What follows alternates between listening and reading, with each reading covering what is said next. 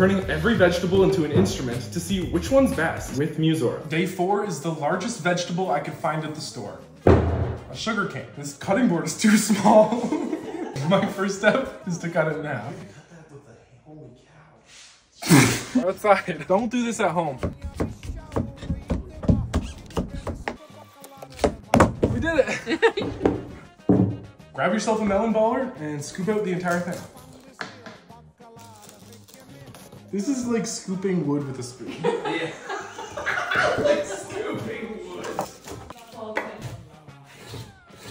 Measure out some string so you can tie it together.